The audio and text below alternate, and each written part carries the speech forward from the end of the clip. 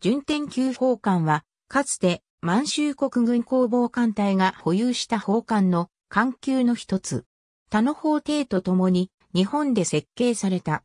1932年に建国された満州国は中華民国やソビエト連邦と接する北満三港の警備のために川用砲艦が求められていた。だが、満州国軍に創設されたばかりの攻防艦隊が有するのは中華民国軍東北艦隊、東北攻防艦隊から基準した砲艦5隻のみで、しかも4隻は商船を改造しただけの仮想砲艦だったため、新たな艦艇の配備が要求された。そこで建国と同時に、川崎造船所に、恩民級法艇を、三菱重工業神戸造船所に大道級法艇が発注されたが、安則元年予算でこれらの小型艇の機関となる250トン、砲艦2隻が、播磨造船所に発注された。一番艦、順天は、1934年2月20日に、播磨造船所相生工場で寄港。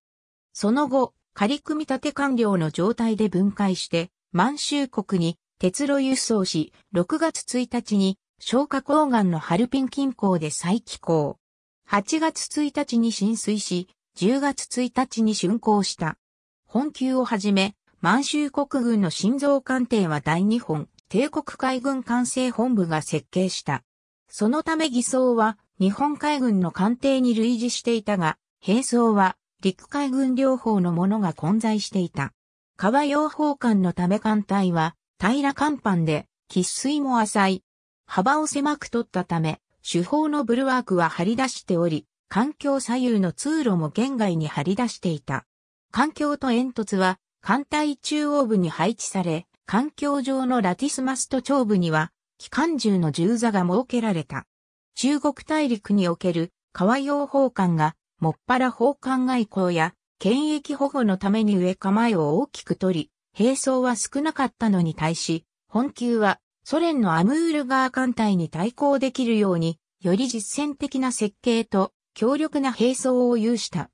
手法は、環境全部の10年式12センチメートル、総連ね広角砲で、帝国海軍の45口径10年式 12cm 広角砲を連装、関西化したものであり、校舎砲としての運用よりも特元装薬による陸上部隊の支援射撃を考慮して採用された。環境後部にも地上支援用の 15cm 局射砲が1門搭載されていたが、1938年2月の階層で 15cm 局射砲を安式 8cm、40口径迫撃砲に換装したほか、広角砲射撃用の即挙儀を追加装備した。マスト頂部の機関銃座には、星式 13mm 高射機関砲が3機設置され、対空射撃に加えて高台から陸上の敵部隊を操作できるようになっていた。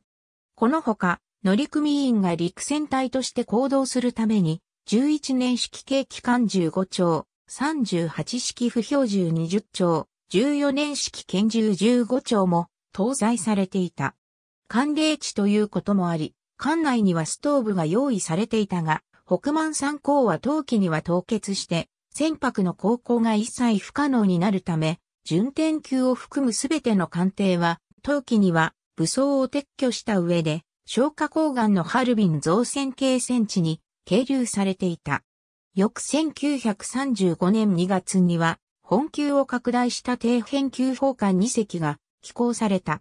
同年10月に竣工した底辺級と本級4隻は、満州国軍が軍艦に分類した数少ない主力艦として、松花江、国立港の警備や沿岸部での非属討伐に活躍した。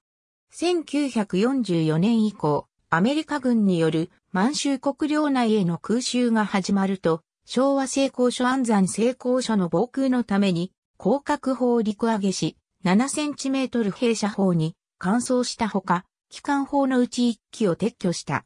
だが、1945年8月のソ連対日参戦に伴う満州国崩壊とともに、攻防隊の艦艇も壊滅的打撃を受けた。その後、攻防隊の残存艦艇とともにソ連に接収されたと言われている。ABC 中野明正美、明治以降日本が輸出した艦艇について、世界の艦船第314種解任者、PP98 から 104ABCD 写真、提供、海上保安庁、1935年頃の満州国工房艦隊、世界の艦船第743種解任者、PP44 から49。ありがとうございます。